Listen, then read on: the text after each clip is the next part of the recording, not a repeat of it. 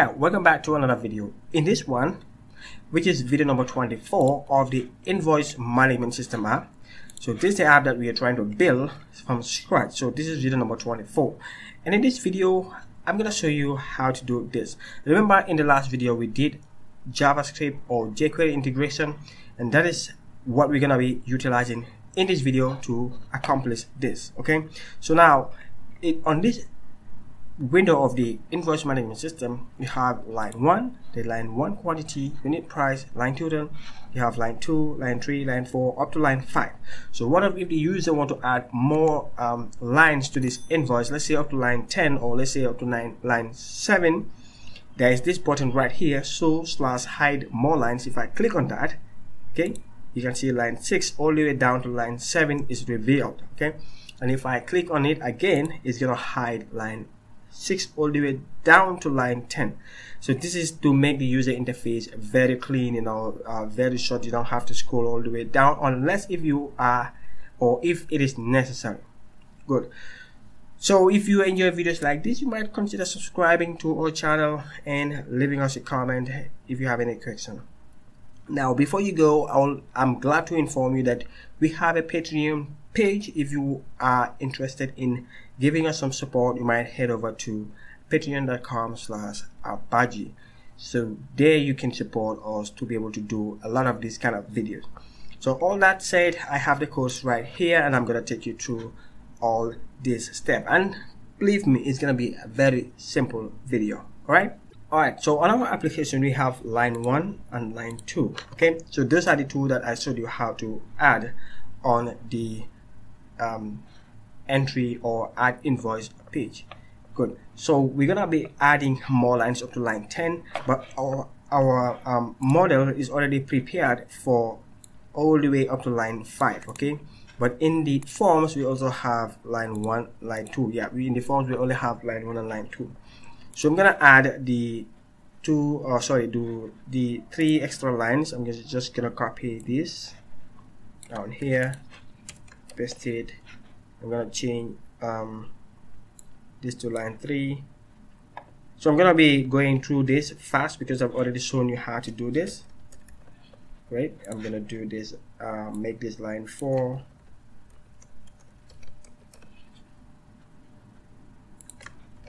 and then I'm gonna make line 5 good. So if I save this and then refresh no before I refresh it yeah let me just refresh. You will see that it's not yet added. Oh by the way this is the JavaScript that we added in the last video. I'm gonna turn that off before we proceed on this one. Okay so we still have line 1 and line 2 so on the entry page oh my um on this entry page sorry I have to go to Sublime we have uh, line 1 okay line 1 then you have line 1 quantity line 1 unit price line 1 total you have line 2 line 3 sorry line 2 again line 2 unit price line 2 total. So I'm gonna copy this one. So this was um this uh, you get if you want to know exactly what I'm doing here um, I'm gonna go through it fast because I've already shown you that how to create these um these fields in this format using um, Forms. You can also check on our channel. Um, you'll be able to find a video that talks about how to create your tables like this or your input um, forms like this okay? So that's what I'm gonna doing here but I'm gonna do it quickly because our target is to show you how to have um, show more lines button. Great so this is line uh, 2 I gotta change this to line 3 and then I'm gonna create line 4 and line 5 okay so you have uh, line 1 here line 2 here line 3 this will be line 3 I'm gonna have this as line 4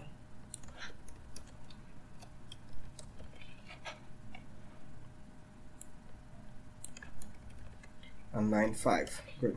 So when I save it and refresh the app you should have all the way up to line 5 great. So you have line 1 line 2 line 3 line 4 and line 5 now we are getting into the video so now to create line 5 all the way line to up to line 10 that's this uh, model here. In fact what I what you can do if you not uh, get what we're doing on that channel. You see this line one line one uh, then you have line one quantity line one unit price line one total price then you have line two line two quantity line two unit price line two total price. That's exactly what i'm gonna do for line six seven eight nine and 10 so that is the code uh, i have right here. Though it's kind of messed up I'll have to find a better way of showing you these codes on my site but anyways it's able to do the job. Let's just stick to that for now. Copy that. I'm gonna paste it right after line 5 yeah so I have line 6 7 8 9 and 10 so right after pasting that you gotta do um, make migrations and migrate. Okay so you can see it has created line 8 uh, in fact it has just mixed it all up but anyway so you can do like make migrations and then migrate. So while it is doing the migration we're gonna switch over to the next step which is to create the uh, the to add these new fields into our form okay? So I'm gonna copy that and then go to forms to py so we have line 1 line 2 yeah line 3 line 4 line 5 right after line 5 I'm gonna paste it here. So we have line 6 7 8 9 and 10 okay? So let's check if this is done doing the job. Good. So I have to run the server now okay? And then save this. Okay so now by saving that based on the uh, the technique we're gonna use we or we are using to display this if I refresh it's not um, coming up the line 5 no sorry line 6 7 all the way down to line 10 is not coming up because we have to uh, display them right here in the entry form. Okay so we gotta do the uh, this is line 5 I'm gonna copy this.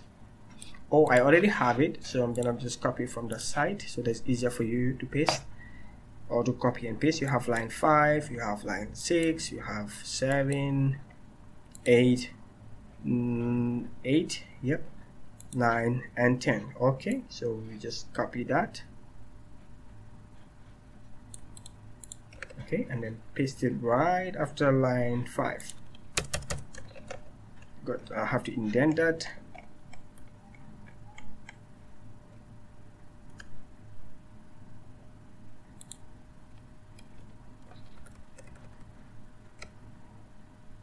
okay? Yeah. So I'm gonna save it and refresh the page.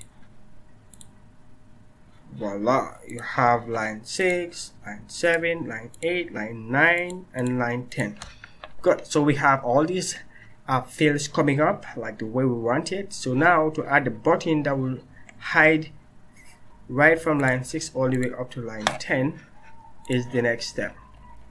Okay?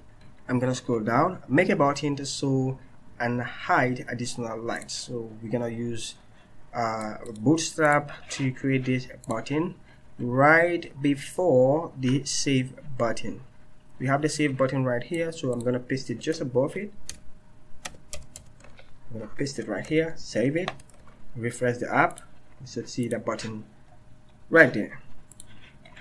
Okay so slash hide more lines. If I click it nothing is happening. It's just a dummy button okay? So now the button has this uh, we have button we have an id for it called more dash lines. That's the id of this button. Now we have a type of button. We have the class btn btn primary as the styling for this button. We are using bootstrap to do that style. So this is the text that is going to be shown on the site and you have the closing of the button right here okay so that construct this button and gave it this color okay good. Now what we're gonna do is in fact I can change the color of this to danger so that we have them different. Good. So we have saved as red and then the more lines as blue. Good. So the next step and the final step is to have the button do the action. So we're going to use jQuery to jQuery slide toggle okay?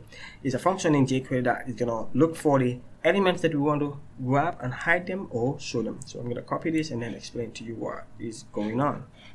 Oh man. If I can copy that. Copy and I'm going to take it to jQuery okay? So this is the alert that I showed you on the last video. I'm just gonna comment it and then paste it right here. Good so looking at this if I uh, go to the application and I right click any of these fields let's say I want to right click um, field 6 any of these field will do it but I'm gonna right click field 6 and click inspect. Alright so you can see right here okay? Div id line 6 okay? So that um, starts here and ends here. So that covers everything about line 6 where is line 6 right here okay? Where is line 6 here so you can see if I hover on that on the left side of the screen just check here okay check here. If I hover on this um, ID or this element here you can see it covers the entire um, object of line 6 it's, it's labeled the input and the all the classes that are in uh, that has something to do with the, line 6 so we're gonna grab that um, uh, ID okay this element here this the div that has the ID of div ID line 6 that's what I'm looking for. I have that here div ID line 6 and we have div ID line 6 quantity. That is the next one. If I um, right click line 6 quantity and say inspect you get to see that class right here div ID line 6 quantity. Okay good. So if I scroll down you can see uh, another one um, right here div id line 6 unit price we can go further. You can see div id line 6 total price.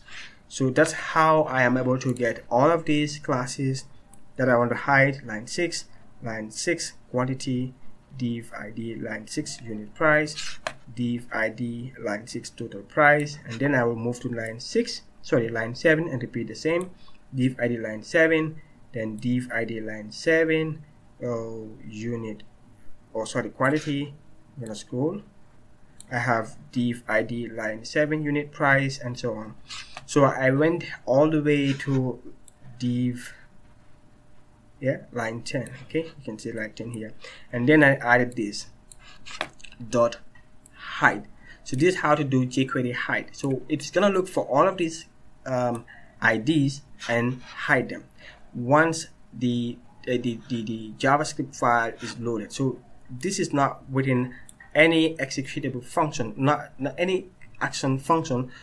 It is in the main uh, ready function. Okay, if you know jQuery. So anything that is within this main function that start right there and ends right here is gonna run automatically. So you can see this will be run as the page is loaded. I'm gonna hide this okay and save it if I refresh this page I'm gonna close this if I refresh this page you can see it has automatically hidden all this well I don't know why this file is coming out. We're gonna we're gonna um check it but now you can see it has hidden uh, all the others. Let's see why line 6 is coming up or line 5 is coming up twice. Probably it's gonna be right here. We have uh, line 10 here line 9 line 8 line 7 line 6 line 5 and 5 here. So this is why we have that line 5 twice. So I'm gonna delete it refresh the page you should have only one line 5 good. So we have line 1 2 3 4 and 5 all the others are hidden. They're right there but hidden by JavaScript or by jQuery. Now to unhide them we're gonna go back to the same uh, JavaScript file and then say okay if we click this uh, if you click the element with this ID has more lines this is the ID ID name. So once that is click it's gonna execute this function okay? On click look for this and toggle with these milliseconds okay? In 200 milliseconds it's gonna toggle. So we can say show okay? Since we used hide right here I can decide to put show here okay? I can do show okay but when I do that it's gonna be only revealing it. And if I click that button again the more line button again by the way that, that is the line here. If I right click and do inspect you can see the idea of that is more lines. If I click it if I only use show it's to display it but it's not gonna hide and display it all at the same time. So that is the reason we said toggle okay slide toggle so toggle will turn it on or hide it and unhide it. You can do both function and it's gonna take 200 milliseconds to um, uh, to toggle it on or off. So that will create that slide effect that you see okay? So if I save it and I click and I'm gonna refresh control refresh to be sure that the file is loaded. If I click you can see it is sliding in and out. So that is the toggle and the 200 milliseconds right there. If I click it again you can see that sliding effect. So if I change that to zero and all of them I'm gonna select this and set zero right here. It's just gonna be very quick. We don't want it to happen like that. You can see it's just on off on off okay? So we want it to look a little bit you know fancy you know we want to act as if we built something really crazy? Huh great. So if I click on that you can see how nicely it is sliding in and out. Out in. I hope you enjoyed that. That's all I have for you in this video. I hope you really learned something. By the way don't forget if you are interested in helping us on doing these videos more and more you can head over to patreon and support us right there. Great. So that's what i want to show you. I guess that's all. Yeah in fact that's your patreon page. Let me show you what that looks like. Yeah today i'm gonna show you how our patreon page looks like. We have two patreons. Thank you for all the support. If you wanna join these two people and give us more support you are highly welcome. And you can see we have all the source codes of the entire application that we are teaching on YouTube okay and on our website. So I believe um, we've covered a lot in this video. So I'm gonna say thanks for viewing and see you in the next video